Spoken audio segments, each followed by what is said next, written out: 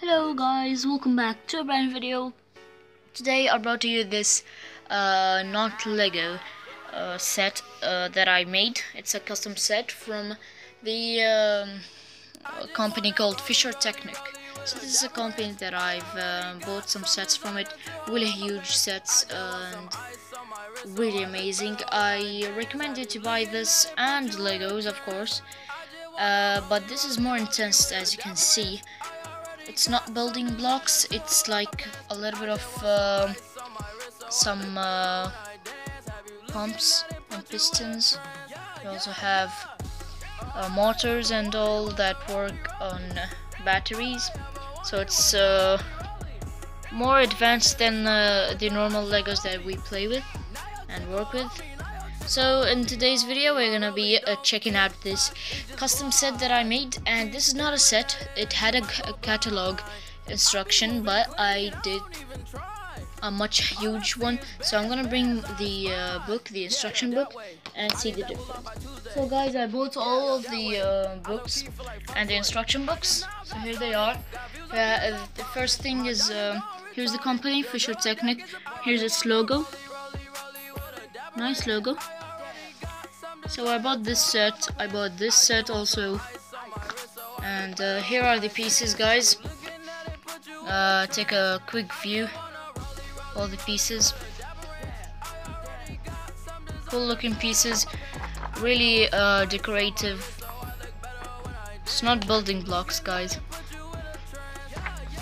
So here's some sets that I've uh, built built, I mean.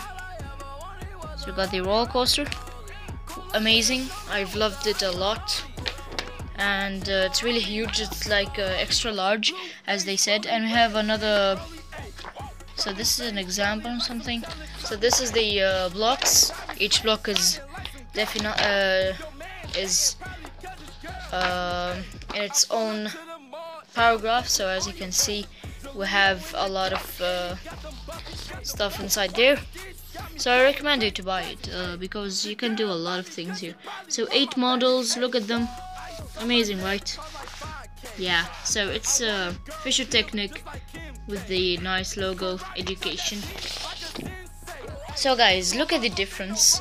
So here are the uh, set that I actually loved.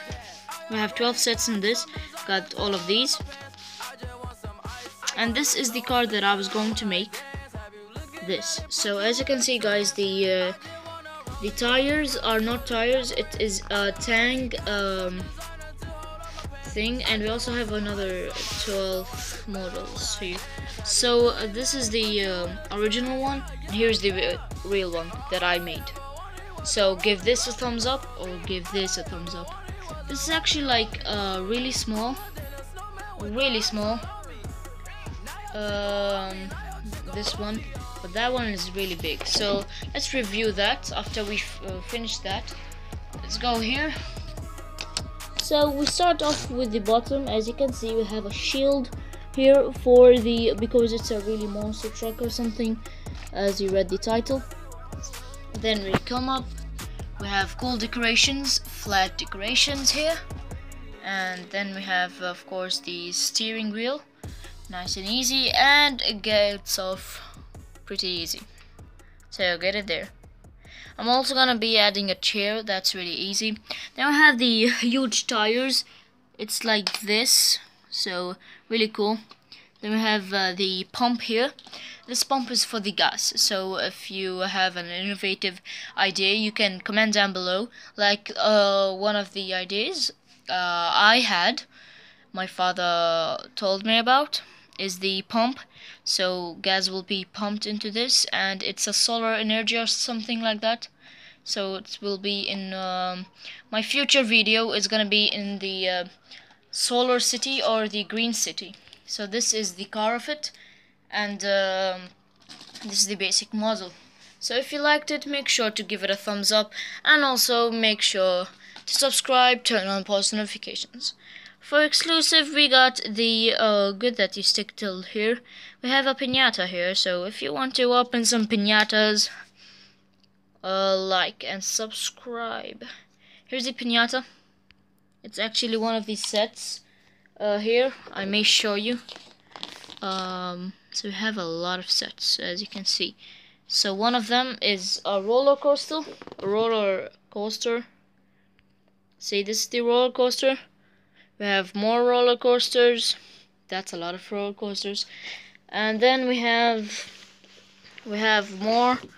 We have these. These are actually nice. Look at the this. We got this. I actually made uh almost half of them. Uh this one is nice. I made that. So guys if you enjoyed make sure to like and subscribe. And also stay tuned. Give it a thumbs up. And see you guys in another video. Bye